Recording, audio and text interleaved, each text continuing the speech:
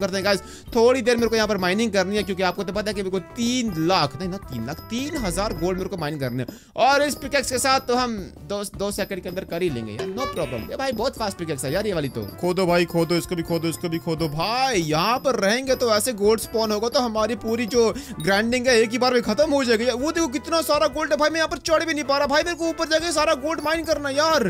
एक स्टैक दो स्टैक तीन स्टैक चार स्टैक भाई पिकेक्स हमारी इतनी खतरनाक है कि भाई जैसे घुमाई ना पिकेक्स पूरा स्टैक घुस रहा इन्वेंटरी के अंदर अपनी। और गाइस कुछ ही देर गोल्ड माइन करने के बाद मेरे पास, ये देखो कितना सारा गोल्ड आ चुका अभी मेरे को नहीं चाहिए, क्योंकि ऑब्वियसली मेरे को सिर्फ़ ही चाहिए था अपनी कलेक्शन अनलॉक करने के लिए।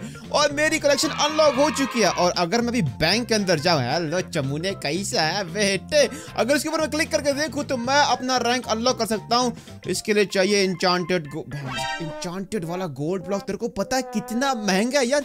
ये कौन बता रहा है इसकी प्राइस है यार ये? हेलो अंकल जी, ये फालतू का गोल्ड सबसे पहले आप मुझसे खरीदोगे, क्योंकि मेरे को ये सारा सामान नहीं चाहिए। ये भी खरीद लो ये भी खरीदो खरीदो खरीदो, ये भी खरीदो और ये भी खरीदो। ये फालतू की चीज़ें जो है मेरे को नहीं चाहिए। और अगर मैं अपनी मार्केट के अंदर जाके देखूँ और मेरे को जाना है माइनिंग वाले सेक्शन के अंदर, और ये रहा इंचांटेड गोल्ड भैंस की आँख one hundred and sixty six thousand लूटने का कौन सा तरीका है? यार ये और 166,000 इसके भी दोगे और साथ में आपको देना पड़ेगा पाँच मिलियन ताकि आपका अकाउंट अपग्रेड हो। तो अगर मैं ये बाय करता हूँ तो मैं 50 मिलियन की जगह 100 मिलियन अपने अकाउंट के अंदर रख सकता हूँ। तो लीजिएगा हमारा अकाउंट आज से हो चुके अपग्रेड घंटी बच गई भाई यहाँ पर तो।